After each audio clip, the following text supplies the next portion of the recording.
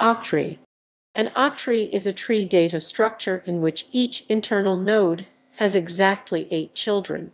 Octrees are most often used to partition a three-dimensional space by recursively subdividing it into eight octants.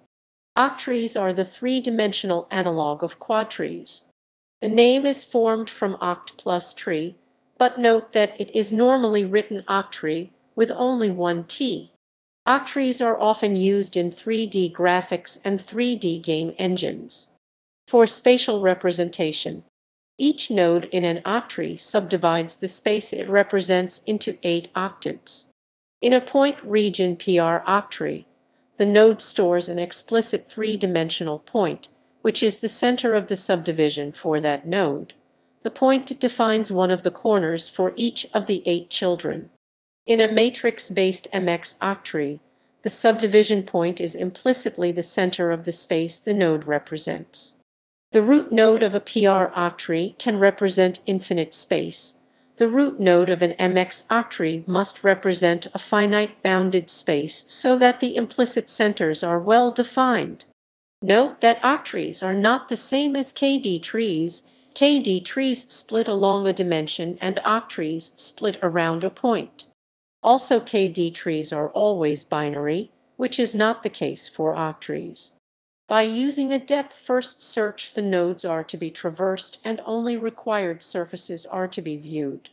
History The use of octrees for 3D computer graphics was pioneered by Donald Meagher at Rensselaer Polytechnic Institute, described in a 1980 report Octree encoding, a new technique for the representation manipulation and display of arbitrary 3D objects by computer, for which he holds a 1995 patent with a 1984 priority date high-speed image generation of complex solid objects using Octree encoding.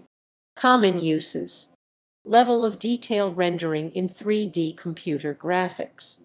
Spatial indexing. Nearest neighbor search. Efficient collision detection in three dimensions. View frustum culling. Fast multipole method. Unstructured grid. Finite element analysis. Sparse voxel octree. State estimation. Set estimation. Application to color quantization. The octree color quantization algorithm, invented by Gervautz and Purgathofer in 1988, encodes image color data as an octree up to 9 levels deep. Octrees are used because 2, 3 equals 8 backslash display style 2, 3 equals 8. And there are three color components in the RGB system. A node index to branch out from at the top level is determined by a formula that uses the most significant bits of the red, green, and blue color components, e.g. 4 plus 2 plus b. The next lower level uses the next bit significance and so on. Less significant bits are sometimes ignored to reduce the tree size. The algorithm is highly memory efficient because the tree's size can be limited. The bottom level of the octree consists of leaf nodes that accrue color data not represented in the tree these nodes initially contain single bits.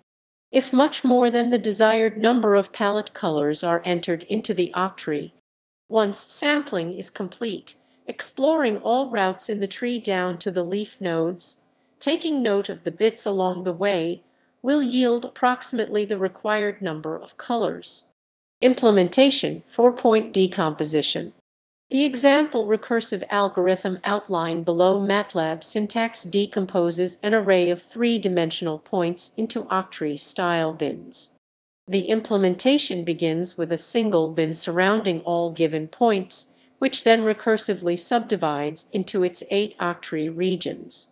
Recursion is stopped when a given exit condition is met.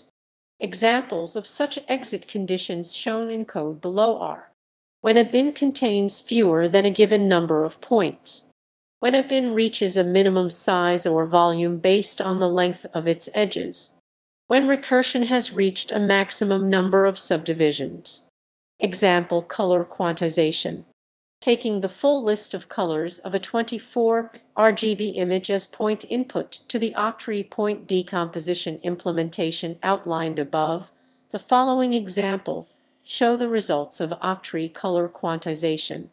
The first image is the original 532,818 distinct colors, while the second is the quantized image 184 distinct colors using Octree decomposition, with each pixel assigned the color at the center of the Octree bin in which it falls. Alternatively, final colors could be chosen at the centroid of all colors in each Octree bin, however this added computation has very little effect on the visual result.